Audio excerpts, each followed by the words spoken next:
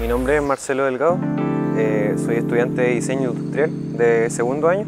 A través del, de comentarios de amigos, también de algunos videos que, que había encontrado en, en, las redes de la universidad, eh, que se, apoyaba a proyectos extraacadémicos, como por ejemplo los del, del grafiti o del muralismo.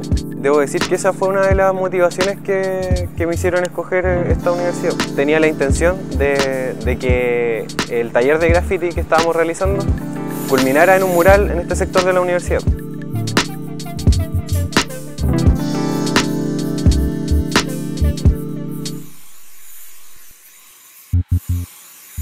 Uno tiene que igual buscar desde otras disciplinas, como las artísticas, que enriquecen bastante lo, que es una disciplina como el diseño industrial o incluso la arquitectura, que consideran que acá se, da apoyo al, a los estudiantes.